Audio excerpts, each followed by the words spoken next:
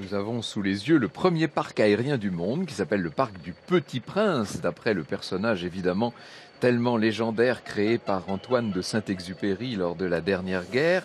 Il faut vous dire que ce parc a été conçu à l'endroit même, c'est ce qui vous explique sa conformation, là vous voyez.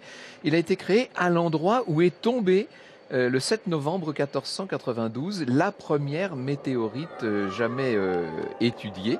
Donc nous sommes à Ungersheim, à cet endroit donc précis. Et nous avons commencé l'abord de ce, de ce parc aérien, de ce parc du Petit Prince, par un long plan que vous avez pu voir sur le légendaire biplan Antonov en deux. Ça, c'est un des deux grands ballons captifs du parc.